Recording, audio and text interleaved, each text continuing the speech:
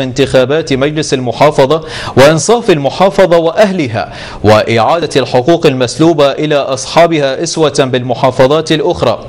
وأشار المعنيون إلى أن إجراء انتخابات مجلس محافظة كركوك من شأنه زيادة صلاحيات إدارة ومجلس المحافظة إسوة بالمحافظات الأخرى وبما يعود بالفائدة على جميع مكونات محافظة كركوك على حد سواء. يشار خالد. تابع هذا الموضوع.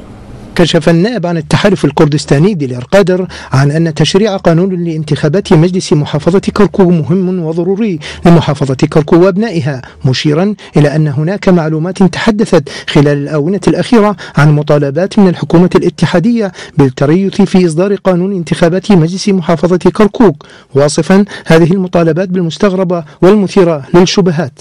قمنا بجهد من كل المكونات من ممثلي كل المكونات في مدينة كركوك لتشريع مقترح قانون حتى يتم حسب هذا القانون إجراء انتخابات في محافظة كركوك.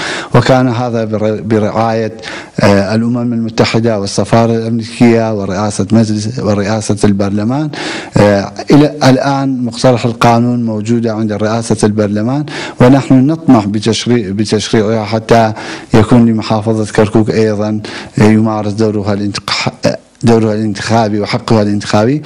وهناك أقاويل سمعنا بأن هناك كتاب من أمانة العامة لمجلس الوزراء وجهت إلى بعض اللجان بأنه لا أو لا يسمحون أو لا يمررون هذا القانون. إذا كان هذا صحيحا فنحن بالتأكيد نؤكد أن أمانة العامة لمجلس الوزراء قد جاوز صلاحياته وهذا ليس من من اختصاصي ونقوم ب برفع دعوى عليهم في المحكمة الاتحادية لتجاوز صلاحياتهم. وعرقلة حق مواطن العراقي في مدينة كركوك من حقوق من إيداع حقوقهم الانتخابية. إعلاميون ورجال قانون أكدوا أهمية إجراء الانتخابات المحلية في كركوك لإعادة الصلاحيات المسلوبة من كركوك أسوة بباقي المحافظات العراقية. واصفين مخاوف البعض من الانتخابات بغير الواقعية والبعيدة عن الحقيقة. إن انتخابات مجلس محافظة كركوك إذا جرى يتوسع فيه صلاحيات المجلس كبقية المحافظات التي تم انتخابات مجالس فيها. والحكومة العراقية على دراية تامة بالواقع الحال في كركوك ويدري بأن إجراء انتخابات يعني تغيير هذا الواقع الوضع الراهن. الحكومة الاتحادية خشية من نقطتين مهمتين لم تقم بإجراء الانتخابات في محافظة الكركوك. أولا خشية من ازدياد عدد نفوس كركوك وهذا شيء واضح ومعلوم الأكثرية الكردية الموجود.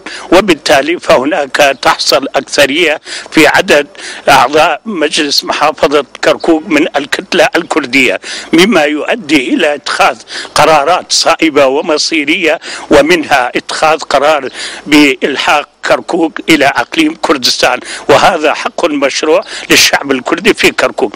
ثانيا بموجب القانون رقم بقانون 21 لسنة 2008 هذا القانون أعطى صلاحيات واسعه لمجالس المحافظات فالحكومة المركزية بوقتها استثنى محافظة كركوك من هذه القانون وهذا ألحق أضرارا جسيمة بمحافظة كركوك وعدم اجراء الانتخابات فأنا أطلب الممثلين الأكراد في مجلس الوطني في مجلس النواب العراقي وكذلك في مجلس المحافظة ومن الكتل السياسية الكردية الضغط بكل الوسائل القانونية المطلوبة لإتخاذ إجراءات انتخابات مجلس محافظة كركوك في أسرع وقت ممكن.